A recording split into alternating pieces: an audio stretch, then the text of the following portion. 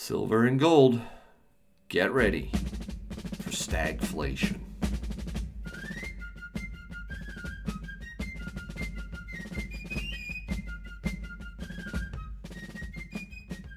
Hey, everybody, thank you so much for watching Yankee Stacking. Oh, precious metals. What can I say? We're getting slapped around, aren't we? But, you know, gold, which I have out right here, my, Yankee Cannon, I, I wanted to take a look at it again and remind myself why I am stacking. Gold, gold's down about what, 10% since its high back in March 8th before all this craziness. Oh man, but silver, oh, it's getting abused. It's off 34% from its high back on February 24th. What? All right, now I've spoken about why I think silver is getting clobbered uh, versus a moderate drop in gold. You can check it out right up there. But but I really think that things are going to shift hard. First for gold, and then with silver, as it confirms the move that gold I think is going to make. I am confident that it will blow right past gold with its percentage increase. Similar again to what it did after the financial crisis of 08 and during the Great Recession, or at least all the way up to 2011. Um, that's that's when the Fed suckered everybody into thinking they had, you know, solved the problem, you know, landed the plane. They didn't solve finding their way out of a freaking paper bag. Now, I still believe that we could get this uh, uh, uh, sickness that we're dealing with, okay, under control. Again, I, I can't say the name. YouTube's going to demonetize me like it did on my last video, but whatever. You know what I'm talking about. But I do think we could be dealing with this illness for months. I mean, many, many months. Okay, I don't, want to. I don't want to sensationalize this uh, health crisis, but I don't want to minimize it either. So, so just suppose the number of, of cases uh, continues to increase at its current rate. I've been watching this very carefully. It's roughly quadrupling uh, in, in the United States every week. And if that continues, it's possible that by the end of March, we could have hundreds of thousands of people dealing with this. And that is why you and I have to be so diligent in our social distancing, no matter how painful that is. What are we facing in 2020? Well, I'm going to sum it up in one word stagflation. All right, Yankee.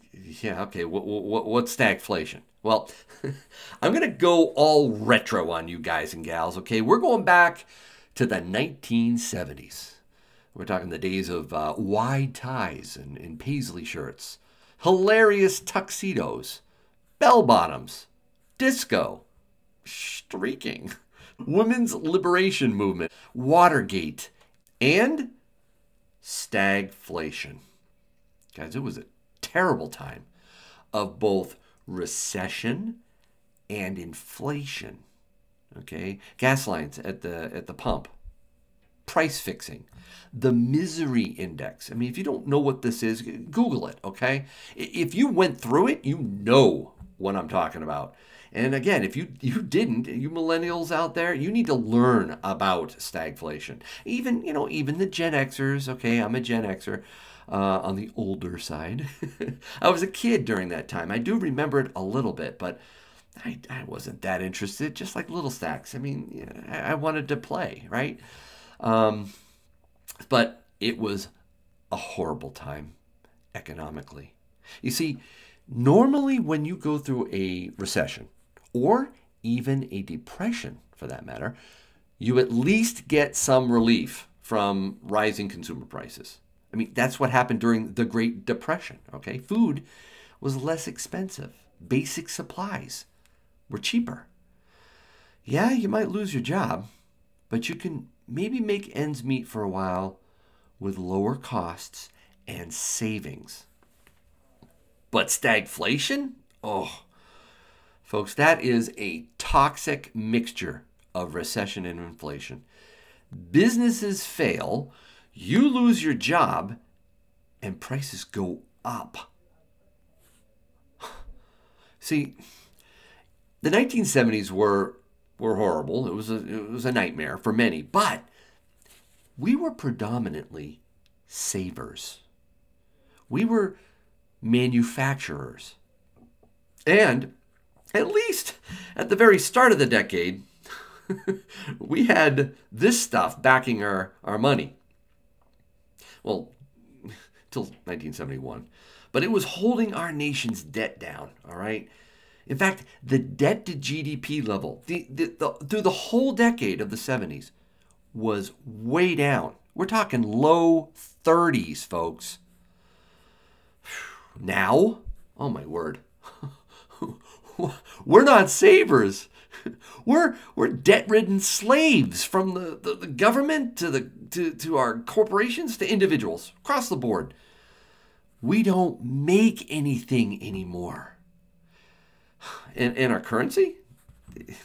well, it's backed by the full faith and credit of the U.S. government, aka Jack Squat. And the GDP, you know, the debt to GDP ratio, what is it, 106 now? It's it's terrible.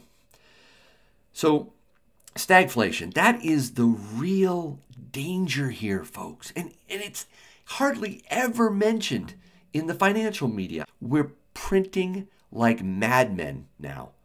Okay? We are inflating our currency just because the CPI isn't reflecting it. Just because we've uh, you know pushed inflation into the uh, financial markets. Wait until it comes flooding out.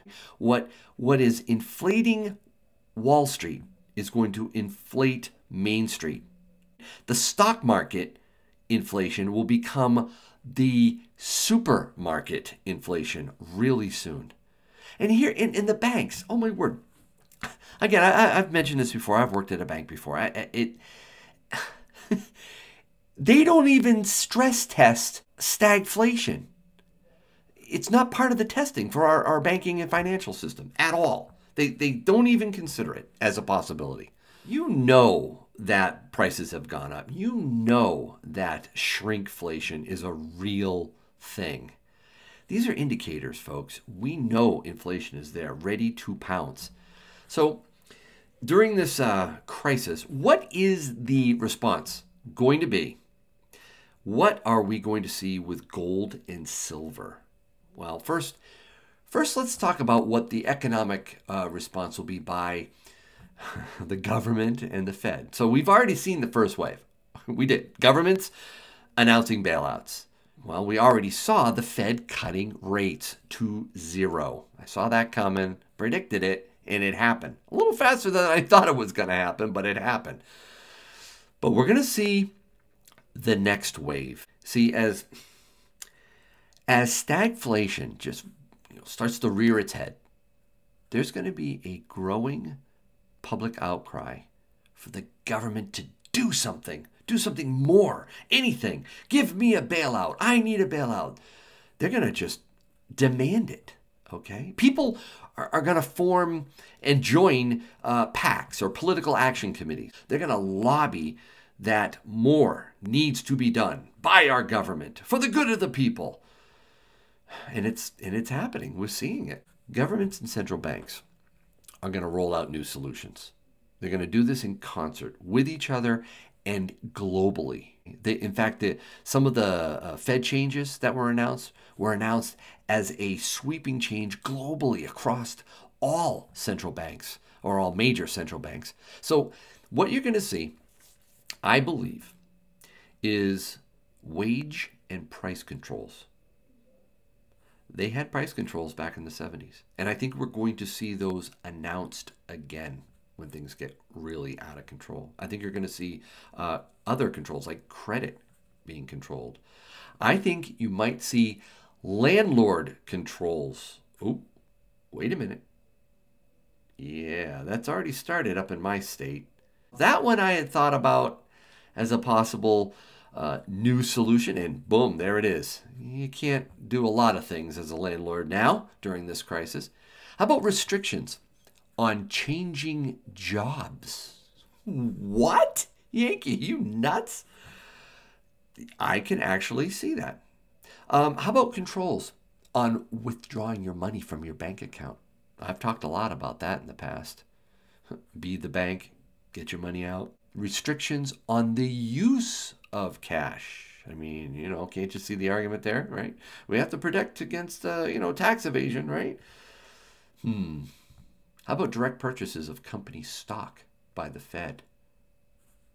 That seems rather far fetched, but they have actually contemplated that. What about nationalization? Uh, that's what the French minister actually said right here. You can see they're considering the possibility of nationalizing companies. Now, that's France, okay? I used to work for a French company. I get it. They they have no qualms about nationalization. But what about here in the United States? Mm-hmm.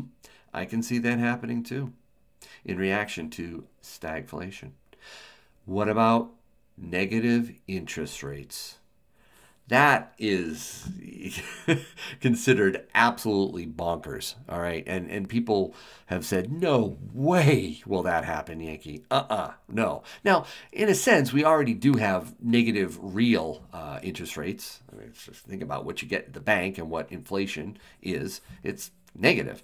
But even worse than that i do believe at some point we could see it cost you to leave your money in the bank negative interest rates definitely a possibility as well as you know bank holidays.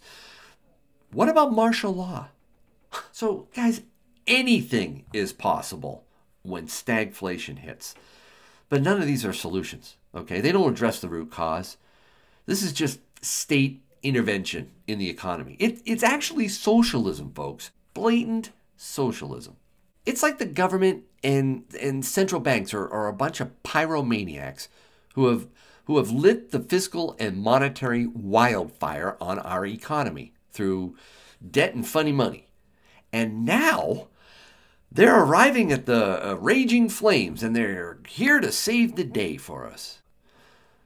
But make no mistake, fellow stackers and, and preppers and, and Americans, they will force the people to obey all these orders.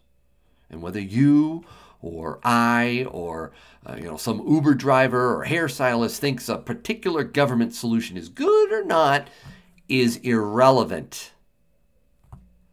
All the problems that are just beginning to crash down around our society's head, whether it be a bankrupt social security trust fund or, or zombie companies or, or, or our banks or pension funds or our anemic manufacturing infrastructure or the, the, the paper thin just in time supply chain that we're all seeing in our grocery stores. You name it, they're all at risk. Now that's a that's an extreme statement, I know, and I'm not trying to be an alarmist. I'm just telling you this is this is not abnormal to think of. This is this is what preppers think of. We think ahead. We think of what could happen. You know, these solutions that you know the, the, the, government officials will stand up in front of the podium and say they all sound good right? Who who doesn't want to help out our fellow americans? Who who doesn't want to provide relief right? It always sounds great always but it ends up bad. In a stagflationary environment it's going to get crazy. The dollar is going to go down way, way down, like stocks. Gold and even silver is going to go up. This is why I stack, folks.